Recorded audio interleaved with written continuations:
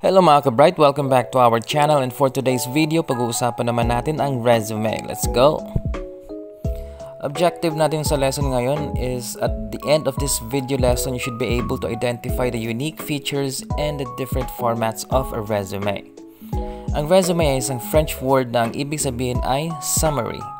Ang pinaka-purpose nito ay para ma-highlight o ma-emphasize ang mga qualifications ng isang aplikante. Ito ay isa ring enclosure. Ipinapasa ito kasama ng application letter.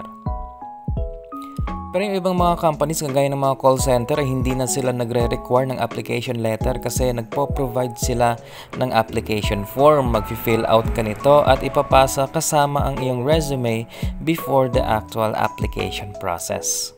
Bago natin i-discuss ang iba't ibang features ng isang resume ay talakayin muna natin ang iba't ibang formats nito. Ito ay sila chronological, functional, at hybrid o combination. Chronological Ang chronological format ay ginagamit ng karamihang mga resume. Gamit ang format na ito ay mas na-highlight ang iyong experience.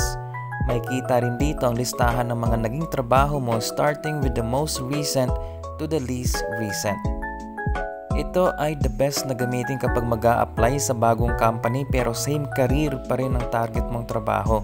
Ibig sabihin, related ang mga experiences mo sa ina-applyan mong trabaho. At kapag wala kang gaps o bakante sa experience mo, kumbaga hindi ka naging tabay at dire-diretso ang trabaho mo, better na i-show off mo yon gamit ang format na to.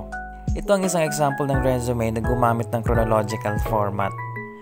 After ng objective at summary ng applicant ay nakasunod ang mga information about sa experience niya. Mapapansin na significant ang mga latest experiences niya sa gusto niyang maging trabaho na makikita sa kanyang objective. Nakalagay dito na gusto niyang makakuha ng position kung saan magagamit niya ang kanyang skills bilang isang electrician. Functional Ang ganitong format ay nakafocus sa skills at hindi sa work history the best itong gamitin kapag si applicant ay gustong magbago ng karir o hindi naman kaya ay gustong ipagpatuloy ang karir pagkatapos niyang huminto sa pagpractice nito. Ito rin ay ang suggested format para sa mga bagong graduate sa high school o college na wala pang work experience. Kapag walang work experience, ang tanging ma-highlight mo lang ay ang iyong mga skills at talent at, at ang educational background mo.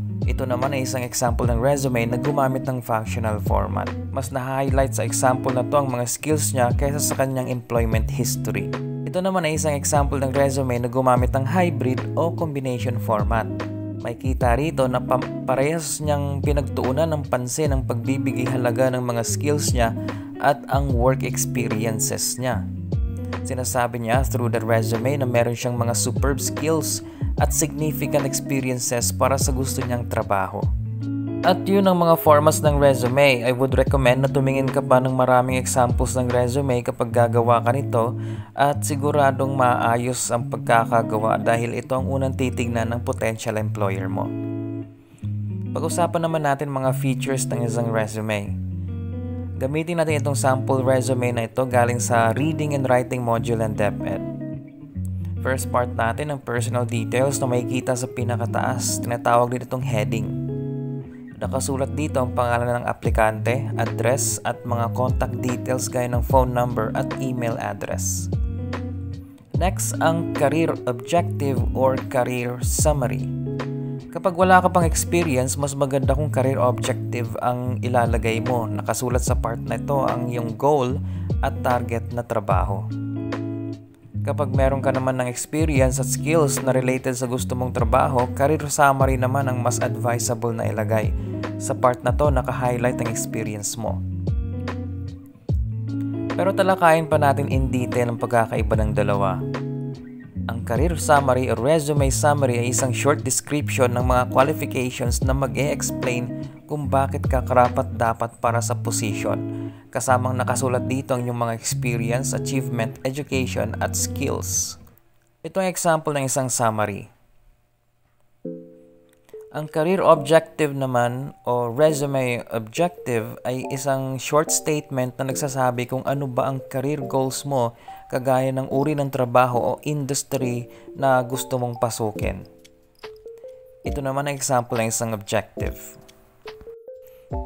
Tumingin tayo ng mga sample resume. Itong sample na to ay career summary ang nilagay niya dahil meron na siyang experience. Mapapansin rin na naka-chronological format ang resume. Naka-highlight ang experience niya, pati na rin ang kanyang mga responsibilities. Ito naman ay resume na may career objective. Mapapansin natin na ito ang nilagay niya kahit na meron siyang experience which is pwede naman at hindi naman talaga ipinagbabawal. After naman ng career objective ang education. Nakalagay dito ang pangalan ng school kung saan ka nag-aral, course mo at year of attendance. Pwede mo rin dito isama ang high school, strand na pinasok mo at mga taon kung kailan ka nag-aral.